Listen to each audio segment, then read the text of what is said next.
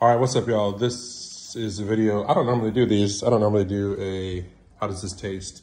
But these things that look like dog turds on our plate are actually called Trader Joe's Pick Perfectly Pickled Pups. Good job.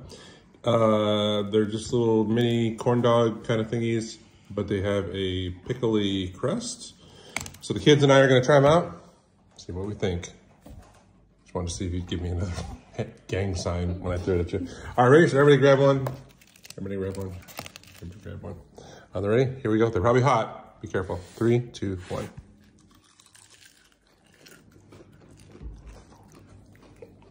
Wow, I haven't eaten dirty hers yet. I've eaten some mine.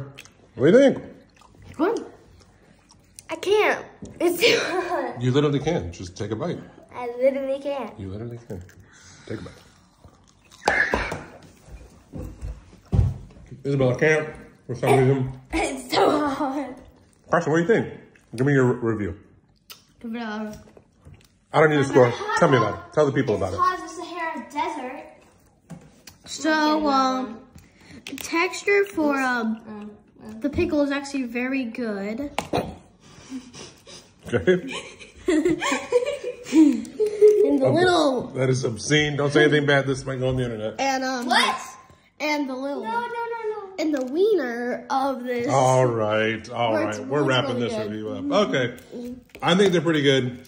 I don't know that I'd have them as a regular thing, but you know, once in a while, guy eats something that's complete crap, and this fills that in. It's like a little smoky, like the little you know cocktail weenies that you put pigs in a blanket. It's that. It's really not a corn dog. It's a pig in a blanket with a crispy corn dog shell with pickle. And um, what you want to do is put in the link below, weenie, and you might get one of these. No, you're not getting anything free. Yeah, you are. Say goodbye, Carson. Bye.